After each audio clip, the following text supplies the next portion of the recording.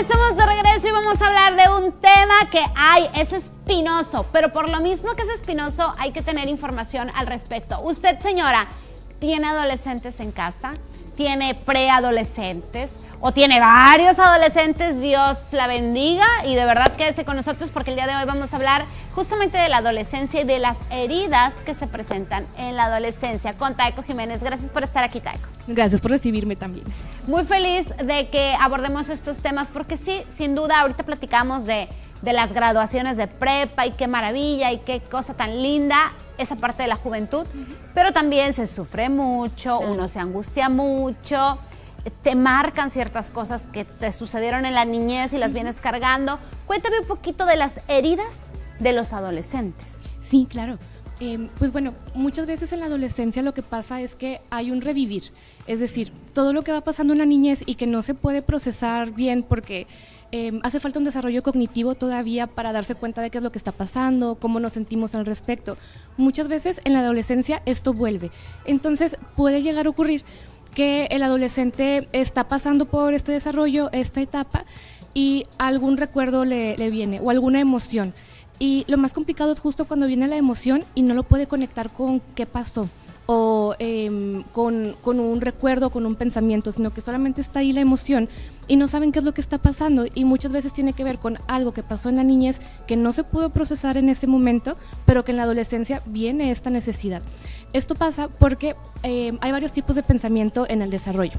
Entonces, cuando somos niños tenemos un pensamiento concreto, pero cuando estamos en la adolescencia pasamos a un desarrollo em, del pensamiento más abstracto. Entonces, ahora sí podemos ver quién soy yo, me voy conociendo por qué pienso lo que pienso, por qué siento lo que siento. Y como el adolescente justo está empezando hacer un desarrollo neuronal al respecto, entonces le da oportunidad justamente de ir explorando qué es lo que va sintiendo. O sea, es una. La época de la adolescencia es una etapa excelente para el autoconocimiento. Claro ahí vas entendiendo quién soy, realmente qué me gusta, qué no me gusta, mi personalidad. Pero estas heridas que se pudieron haber ocasionado en la infancia, de alguna manera opacan esta época tan bonita que es la adolescencia. ¿Cómo cuáles pudieran presentarse? ¿Qué tipo de heridas pudieran presentarse en la adolescencia? Sí, claro. Em, bueno, pueden ser ahora sí que de muchísimas, eh, muchísimos tipos.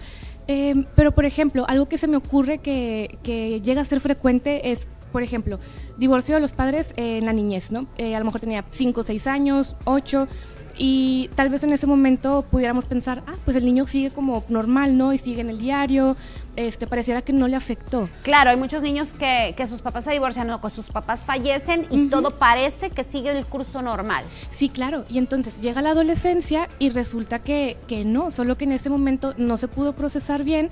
Eh, el niño lo que hizo fue como mecanismo de defensa, pues bueno, continuar con eh, la vida, ¿no? Ir a la escuela, etcétera. ¿Y qué pasa en la adolescencia? Cuando puede ver un poco hacia atrás y ver todo lo que ha pasado y todo lo que ha sentido al respecto, esta emoción puede reactivarse.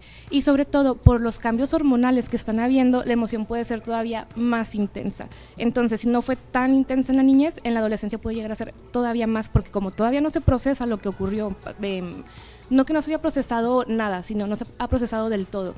Entonces, eh, pasa esto, están junto con los cambios hormonales y entonces pues es como una explosión de emociones. Y por eso también los adolescentes a veces pensamos, bueno, pero es que esto a lo mejor no es tan importante, ¿por qué reacciona de esta forma?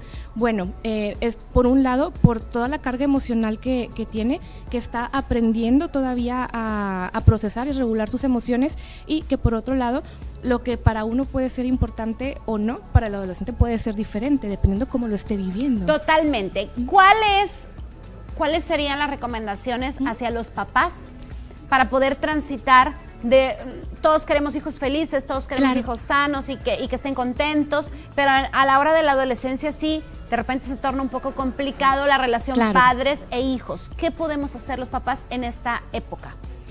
Y aquí creo que es bien importante eh, el acompañamiento que se pueda hacer al adolescente, es decir, preguntarle em, cómo se siente, qué siente y también intentarle ayudar a darse cuenta de qué es lo que está sintiendo, porque hay veces que los adolescentes te dicen, no sé, no sé qué estoy sintiendo. Como bueno, a ver, ¿en qué parte de tu cuerpo lo estás sintiendo? ¿Cómo lo estás sintiendo? Eh, ¿Te duele el estómago cuando te sientes así? Este, ¿Hay como una presión en el pecho? ¿Te estás poniendo rojo? ¿Qué crees que sea esto? ¿Enojo? ¿Sea vergüenza? ¿Sea angustia? Para que ellos vayan identificando esto. Y también bien importante que sí, como padre se puede hacer un acompañamiento, pero permitirles también que convivan con más adolescentes, porque es bien importante que ellos tengan espacios con los pares para comparar experiencias, cómo vive el otro la relación con su familia, cómo vive sus emociones, cómo resuelve o no conflictos. Y ahí es donde se da muchísimo aprendizaje y no solamente eso, sino que se da un acompañamiento y una empatía increíbles cuando se les permite tener este espacio para hablar justamente de, de qué es lo que va pasando. Por ejemplo, también no solamente en la escuela, sino algo que hagan en la tarde, un grupo de estudio, em, de deporte, de algún arte que les guste, esto les ayuda bastante a afianzar lazos y a que puedan compartir experiencias que les acompañen en este proceso también. Y muchas veces nuestros amigos de la adolescencia son nuestros amigos ya de toda la vida. Claro. Porque se hacen lazos tan fuertes y te conocen en un momento tan vulnerable y tan lindo al mismo tiempo que de ahí crecen amistades de por vida. Taeko, danos por favor las redes sociales. Sabemos que estás en Cipre, pero ¿cuáles son las redes sociales en general?